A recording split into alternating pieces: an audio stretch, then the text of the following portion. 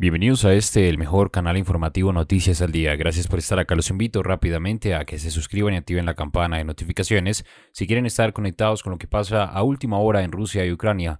Las Fuerzas Armadas ucranianas aseguraron que drones rusos sobrevolaron el espacio aéreo de la OTAN.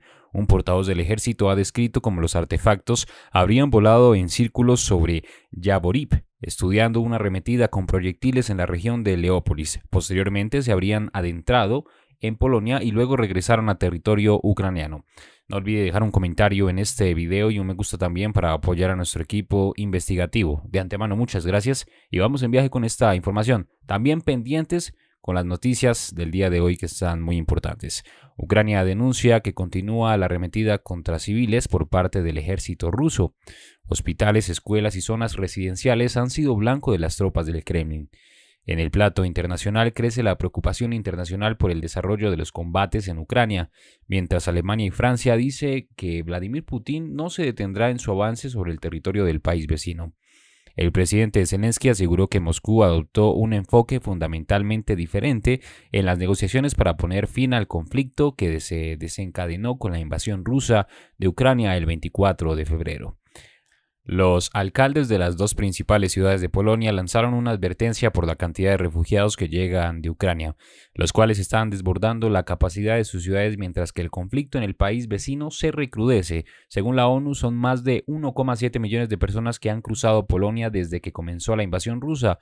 Unas 300.000 de ellas, de acuerdo con Rafal, alcalde de Varsovia, han llegado a la capital polaca. Un reto grande para las autoridades que, sin embargo, reiteraron su compromiso de seguir apoyando a los refugiados ucranianos.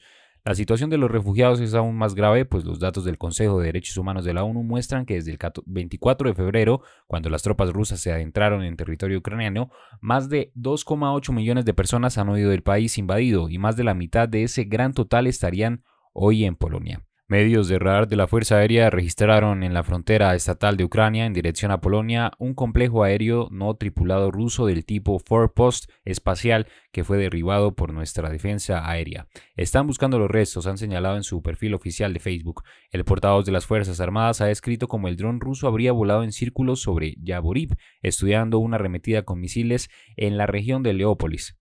¿Qué opina de esta información? No olvide quedarse hasta el final de este video porque tenemos noticias importantes para usted. Recuerde dejar un comentario, un me gusta, suscribirse y activar la campana de notificaciones. Gracias por estar acá. Esto es Noticias al Día. China ha negado hoy categóricamente que Rusia le haya pedido el envío de armas y ha calificado esa noticia de desinformación. Lo ha dicho el portavoz del Ministerio de Exteriores en su rueda de prensa diaria en respuesta a la noticia que asegura que la desesperación de Rusia le ha empujado a pedir el auxilio chino en el campo de batalla. Esa noticia exige mucho escepticismo porque fue filtrada por un funcionario estadounidense en condiciones de anonimato y sin aportar ni una sola prueba. Esa petición, real o no, carece de sentido porque el auxilio militar chino nunca ha estado sobre la mesa y además Pekín se postulaba recientemente como mediador, así que no parece verosímil que vaya a eh, proporcionar armas a uno de los bandos. La filtración llega en la víspera de la reunión que va a mantener Yang Cheche, el asesor nacional de seguridad chino, con su homólogo estadounidense Jake Sullivan. Estados Unidos ya ha avanzado que pedirá a China que no le envíe armas a Rusia. Pues la embajada china en los Estados Unidos negó y dijo que jamás ha escuchado sobre unos reportes publicados por la prensa de Estados Unidos sobre eh, supuestamente que Rusia habría pedido ayuda militar a China para el conflicto con Ucrania y también asistencia económica para enfrentar las sanciones que le han sido impuestas a Moscú por parte de una gran mayoría de los países occidentales. Eh, la embajada de China en Estados Unidos aseguró que no ha escuchado nada al respecto, eh, negando así los informes de estos medios estadounidenses, unos informes que llegan, debemos decir también después de que Estados Unidos advirtiera a China que enfrentaría consecuencias eh, si decide apoyar a Rusia a superar las sanciones impuestas por la mayoría del mundo occidental, unas declaraciones que por supuesto generan rechazo aquí en China, pues Beijing siempre ha defendido la independencia de sus nexos nexos con Moscú y asegura que seguirá adelante con su cooperación estratégica con Rusia pese a las constantes presiones de Estados Unidos y otros países. China mantiene su postura invariable a favor del diálogo para resolver el conflicto entre Rusia y Ucrania. Un diálogo, según afirma, debe ser sin injerencias extranjeras y al respecto de estos informes publicados por los medios estadounidenses, expertos del gigante asiático aseguran que en tanto China como Estados Unidos como toda la comunidad internacional deberían comprometerse en ninguno enviar ayuda militar a ninguna de las partes en este conflicto entre Rusia y Ucrania y por, lo, eh, por el contrario sí permitir todo tipo de entrada de ayuda humanitaria para ayudar a los civiles. Estos informes y declaraciones, debemos decir, son también la antesala del encuentro que tendrán hoy en Roma el alto diplomático chino Yang Jiechi y el asesor de seguridad nacional para la Casa Blanca Jake Sullivan, una cumbre donde se espera que analicen, por supuesto, eh, la búsqueda de los consensos entre China y Estados Unidos, también analizar la creciente competencia y los dañados nexos entre los dos países, pero sin dudas también el impacto de este conflicto entre Rusia y Ucrania a nivel regional e internacional. Los analistas del gigante asiático han dicho que China eh, debe aprovechar esta reunión para ratificar su posición invariable a favor del diálogo en contra de las acciones que pretenden estimular el conflicto y que también bajo ningún orden esta cumbre debería ser aprovechada para tratar de generar discordia entre China y Rusia.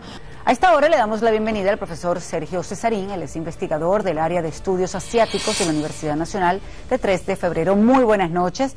Gracias por acompañarnos, profesor. ¿Y usted qué sabe tanto? ¿Cómo explicamos esta actitud de China?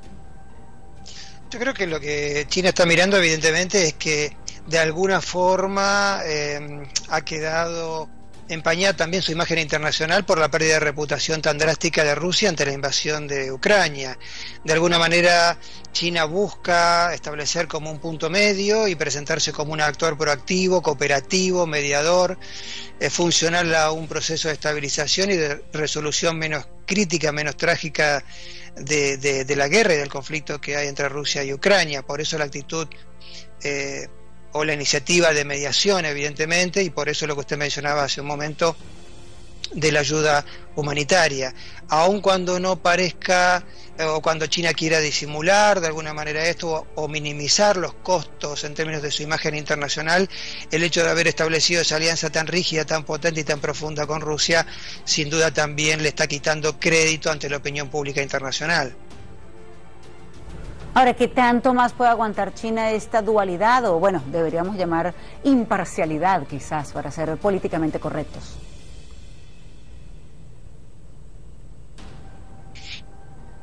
Principio, digamos que era compartida entre Rusia y, China, que es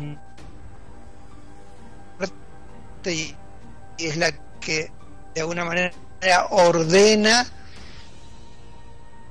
ordena de la OTAN, eh, un bloque occidental que obviamente actúa en varios frentes, tanto en el frente europeo que protagoniza Rusia como en el frente oriental o en, el Asia Pacífico, como que está más a cargo en términos de regulación, de gestión del orden y de la estabilidad regional por parte de, Estados Unidos, pero sí sobre China, ahí donde China talla con mayor eh, preponderancia. Entonces, eh, por ahora el, centro de de esta, de esta común, este antioccidentalismo tan fuerte y antiamericanismo, es el fundamento, es, ah, digamos, aquello que, que, que, alimenta los movimientos y este posicionamiento internacional. Diría que en principio debemos esperar que al menos en tanto los dos líderes, ¿no? porque aquí estamos hablando de sistemas políticos muy rígidos y muy muy similares de alguna manera, ¿no? aunque por supuesto no podría debatir esto desde el punto de vista de si Rusia democrática. Pero digo, en términos de sistema político rígido, la visión de ambos líderes, con sistemas presidencialistas fuertes y personalismos fuertes, con estos liderazgos tan nacionalistas eh, y patrióticos, digamos así, este, es de esperar que esta alianza se mantenga eh, por, por bastante tiempo, ¿no? ¿no? No hay nada que haga presuponer que se rompa en los próximos, en los próximos años.